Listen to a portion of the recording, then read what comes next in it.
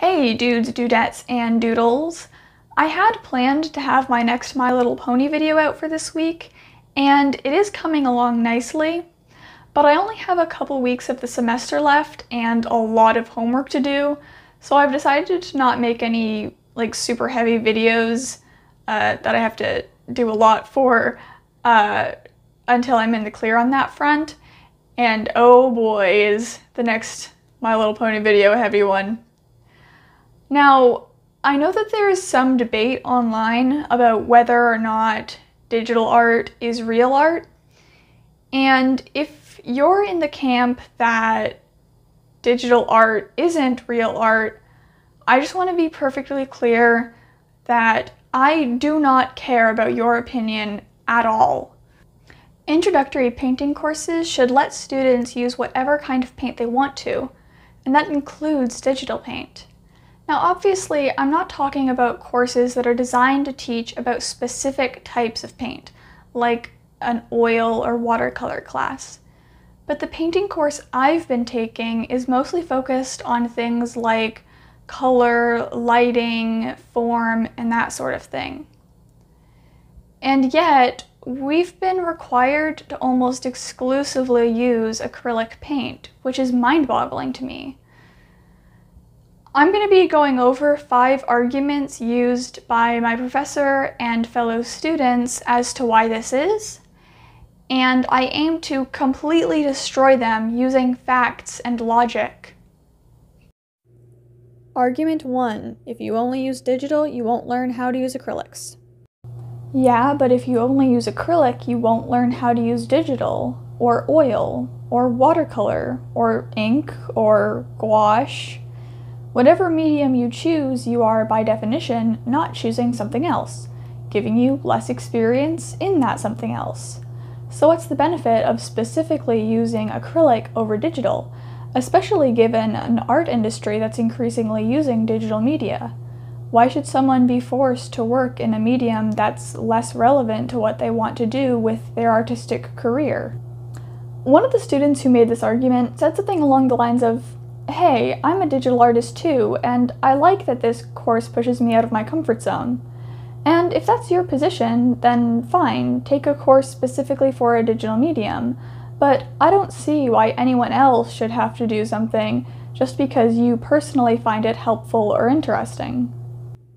Argument 2. Not everyone has access to digital art supplies. And some people don't have access to acrylics.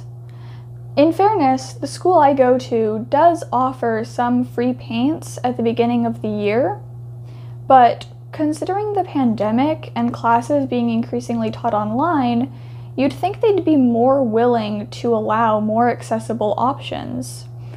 Also, even if you are using the free paints, if you run out of a color, you'll probably have to buy more. And that means that if you already have a digital device, and you know how to download free art software, digital art is infinitely more accessible for you, at least monetarily speaking.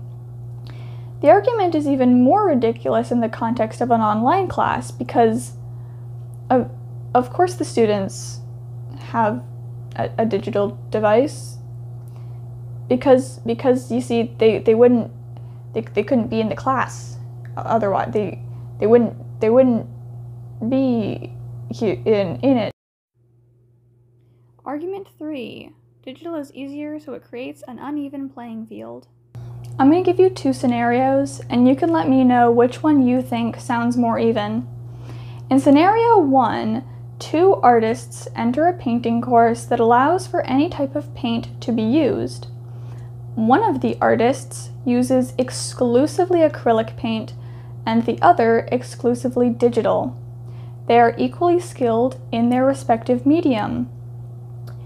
Both artists are comfortable completing the assignments, and the traditional artist is allowed to touch up their work digitally if they feel that it would help. Scenario 2 is the same, except only acrylics are permitted. The digital artist struggles with the new medium, and therefore the class, despite actually being familiar with color theory and lighting all and all that. And because of that, the traditional artist massively outperforms them. No, yeah, you're right. That that scenario too. Uh, so much more even. That was sarcasm. I also want to point out that the use of the term uneven playing field here is extremely misleading. Even if it's way easier to use digital, and it isn't, and I'll get to that, and even if that supposed advantage lets a student get, to, get a better grade, I can talk, that student's use of digital still wouldn't affect the other students because students are graded individually. The only way my grade would affect someone else's would be if you were grading on a curve, which you wouldn't do because you're not a vile pile of trash. Right? Argument 4. This is a class for learning painting techniques.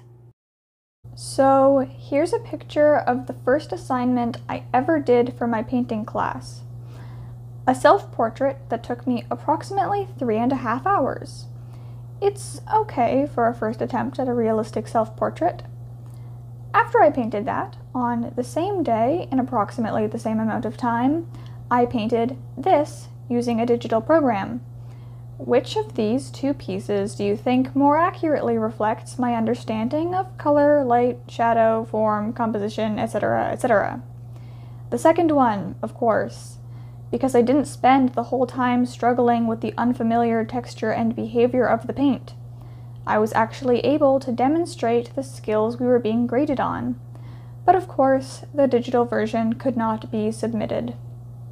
Now, all semester, I don't remember once being graded on technique. Color theory stuff and form and replication, definitely, but technique? Uh, mentioned, talked about, yes, but not really graded, except for a couple times when we had to put a wash down first, I think. But anyway, any painting technique, from washes to dry brushing to impasto or whatever you want, can be replicated digitally. In fact, you could judge a digital piece by how well the technique was replicated. Plus, it could be argued that it's easier to grade technique when the piece is digital.